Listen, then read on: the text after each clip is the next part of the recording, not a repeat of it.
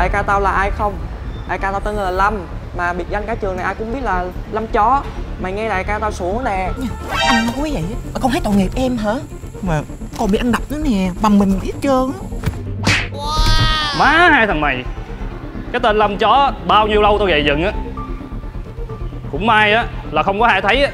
Chứ không á là cả đám đi cất hết rồi. Em có biết tại sao chú thích em không? Nếu vì xinh đẹp thì không hận còn nếu mà mày muốn gây á là không có nhót đâu.